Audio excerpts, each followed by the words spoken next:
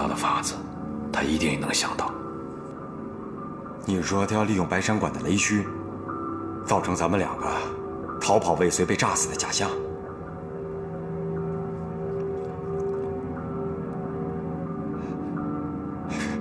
不是，你说赶紧想一办法，咱俩不能坐着等死啊！没有办法。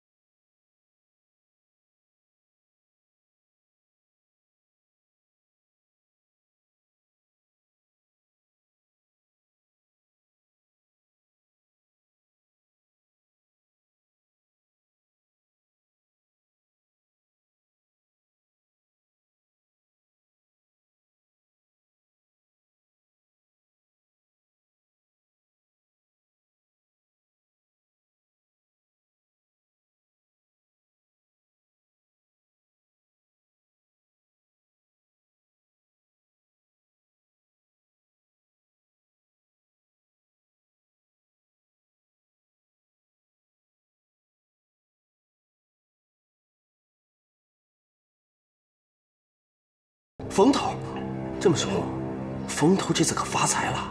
哼，这小子，这小子发大财了。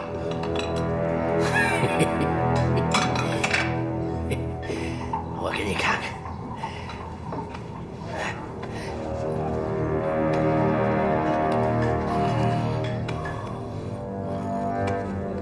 你看看，这这不是张海峰吗？旁边这人谁啊？不认识了吧？啊！我告诉你啊，那就是当年赫赫有名的王万成。什么？王万成？这么说，这个张海峰和王万成有关系？现在他应该是……哎呦，秃哥，这对咱们来说可是大功一件呐！哎，你说咱们要是把这事给上头汇报了，那咱们不就……谁？行了吧你，刘子，王万成这件事办不得，这件事情，我告诉你，就是你知我知就行了。这件事就到此为止，不要再提了。啊，来，喝着，嗯，来，喝着。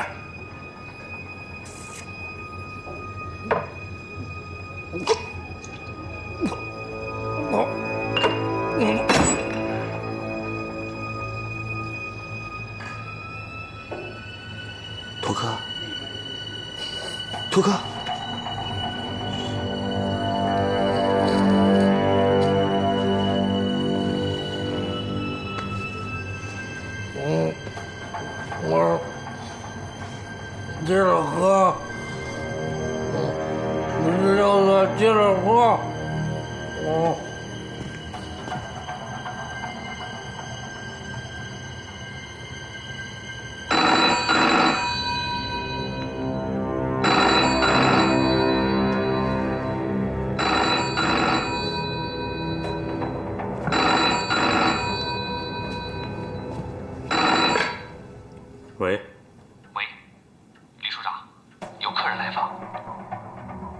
客人？哪儿来的客人？啊，说是白山馆的，姓赵，有非常重要的事情要亲自禀报李处长。把他带到客厅来吧。是。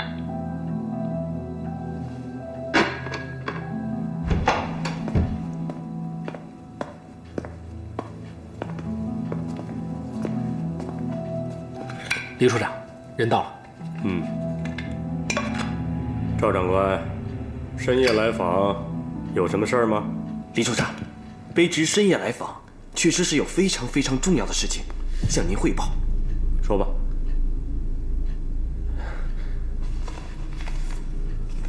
李处长，请您过目。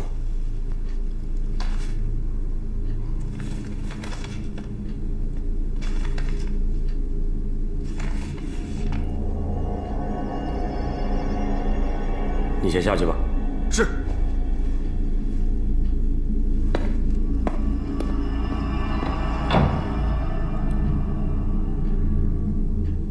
这不是军需处的张副处长吗？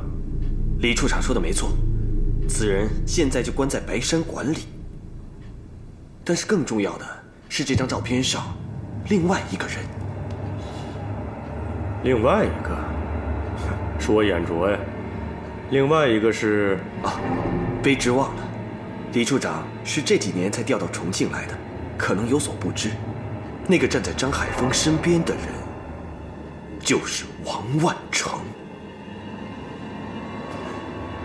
王万成，你是说，当年号称第一特工的王万成？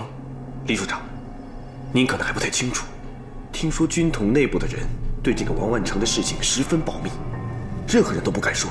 不能提，当年和他有关系的人都死了。据说，这个王万成身上背负着一个重大的秘密。如此看来，此事关系重大。赵长官，我就要多问两句了。是是是，李处长，请问，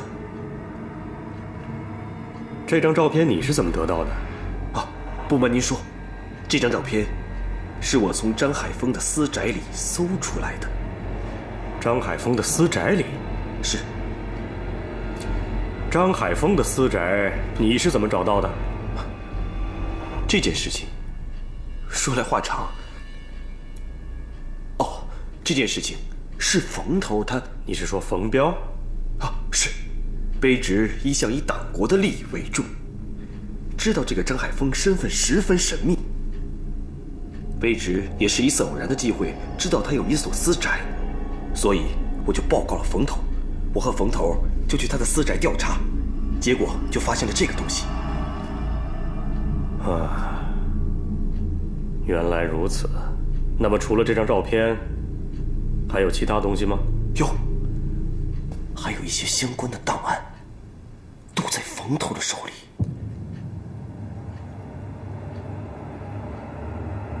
好，赵长官，这件事儿，你立了大功了。我一定向上峰禀报，好好对你嘉奖。多谢李处长栽培。为了这件事儿，我们得好好喝一杯。是是是是。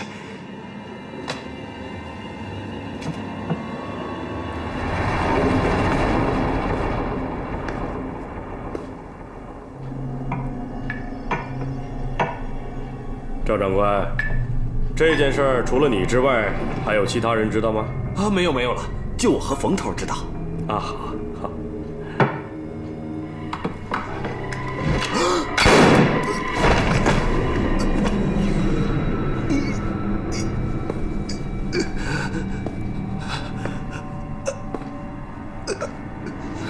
有一句话你说对了，十年前所有占王万成的人都死了，十年后的今天也不例外。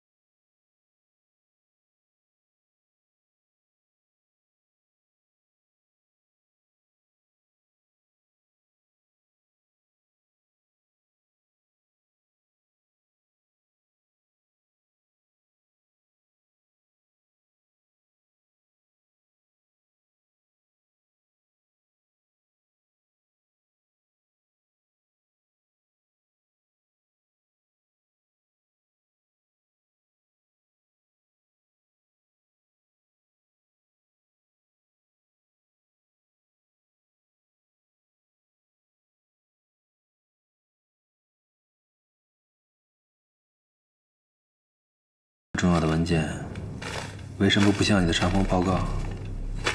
啊，辉先生，您是知道的，这王万成的事情，这么多年一直没人敢提，所以卑职一个小小的监狱队长，所以还有谁知道？啊，这件事情是我和另外一个狱监老涂一起办的，除了我们俩，任何人都不知道。好。你可以走了。是。那辉先生，这件事情……啊，你不用紧张，这只是例行讯问。你找到这个东西有功，它能够帮助我确定张海峰的身份。你的上司会给你嘉奖的。谢谢辉先生。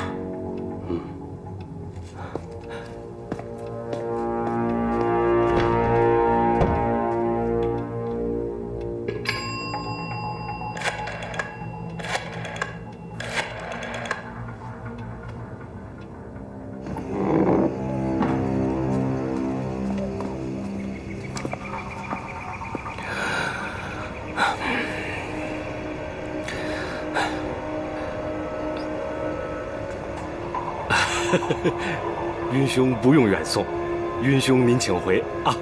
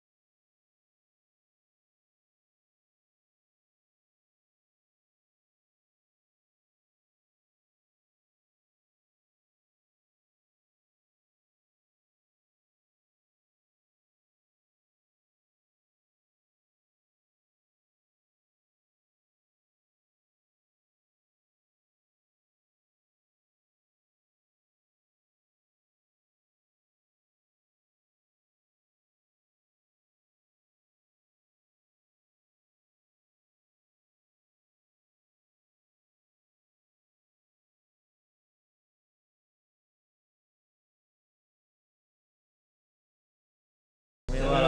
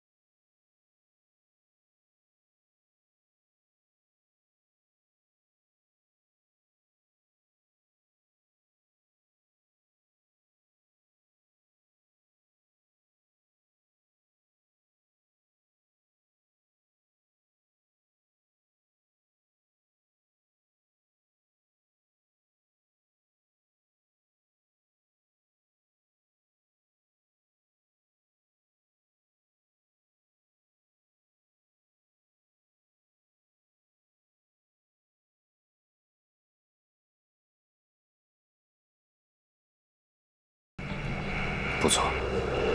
这个王万成号称是当年中国第一特工，而且是万水天晴情报网的总头目。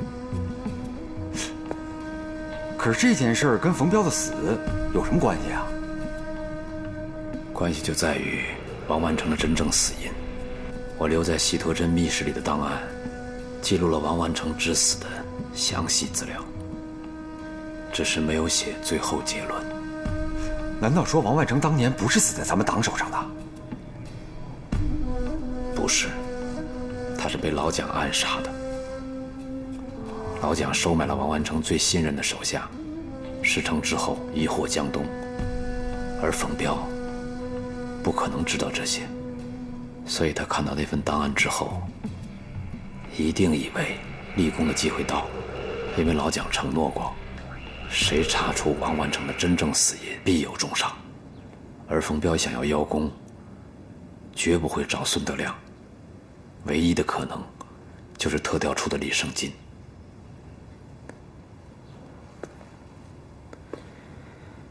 而当年协助老蒋。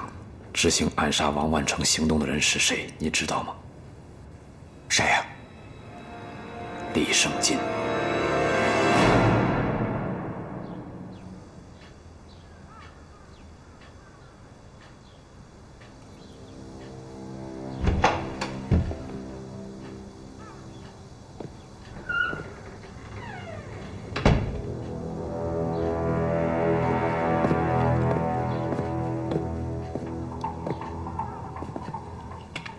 孙国长，我是为刚才的事情来的。你要说冯彪的事情吧？对，我感觉冯彪他们几个恐怕是出事了。孙国长，这件事情你得拿个主意啊！冯彪他们几个毕竟是自己兄弟。我当然知道，这件事情。绝不能就这么稀里糊涂的完了。您下个命令，我这就带人去查。即便把天捅个窟窿，我也要把冯队长他们几个给带回来。周班，听我一句话，这件事算了吧。算了。这一次特调处。能越过白山馆，直接把冯彪他们几个弄走，这说明什么？说明冯彪他们几个的事情肯定小不了。这又怎么样？他特调处李生金再厉害，能厉害过老子手里的枪吗？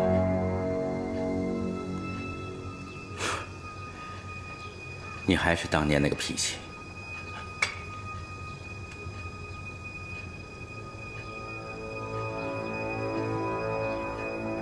记住，该忍的时候，咱们一定要忍。况且这件事情，即使你去查，也是于事无补。为什么？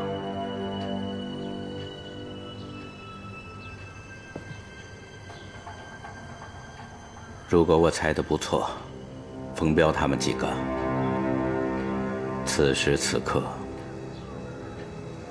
已经不在了。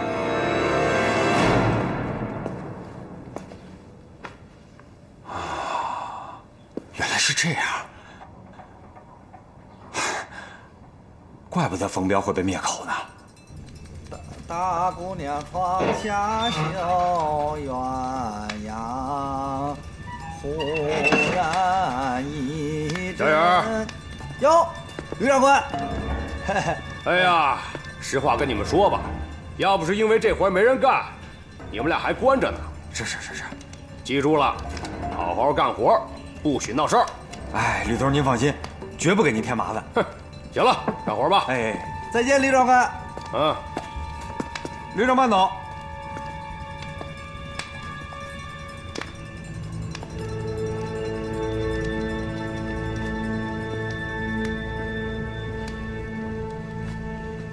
哦，那个三儿，那个朝辉，别砍了。哎哎哎，那个三号楼的长官们的厨房啊。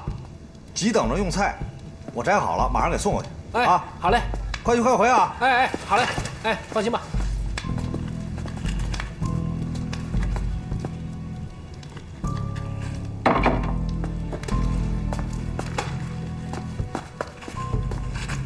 张副处长，冯爷，你们可回来了？那天可把我吓坏了。小燕儿，那天我故意跟看守吵架，是在跟你传信号，你应该明白吧？就到三号楼去告诉他们，说你们俩被关了禁闭。他们俩都知道了。那后来呢？然后我就趁着放风没结束，就偷偷的溜了回来，看守们没发现。好，刘明义和皮景顺那边情况怎么样？那三号楼那边啊，情况复杂，人多眼杂的，我这两天也没敢跟他们瞎搭咕。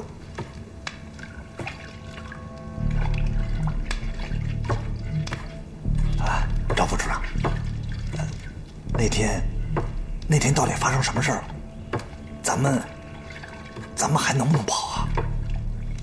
小杨，啊，你说了以后，有没有引起三号楼那边的怀疑？没有没有，绝对没有。三号楼跟一二号楼不一样，这一二号楼关的都是政治犯，那边关的都是流氓地痞，得看守管得松。放风的时候，楼门、牢门口都打开了，犯人们想干什么就干什么，没人管，只要不出圈。这两天晚上，犯人们还在下面干活呢，还。你说什么？啊？这两天晚上三号楼的犯人在干活。啊，这三号楼那帮看守啊，不知道是抽什么风，每天让我们又是筛土又是夯地的，每天干的挺晚的呢。每天晚上从几点开始到几点结束？每天吃完晚饭大概七八点钟，怎么也得干到十点来钟。我估计啊，这就是周八那小子找我们呢。事不宜迟，今天晚上就行动。你说今天晚上就跑啊？对，你通知刘明义和毕景顺，让他们今天晚上九点半准时在杂物间等我们。放心，我一定办到。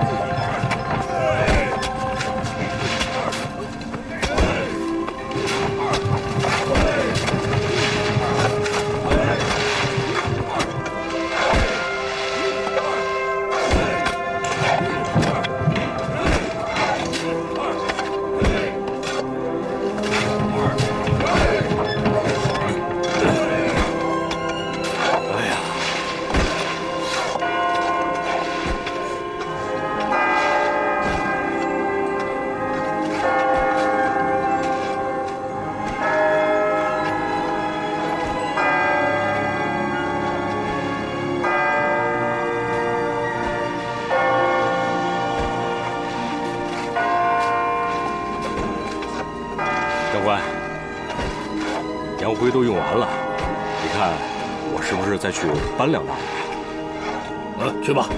哎，刘兄弟，过来搭把手。哎，好嘞。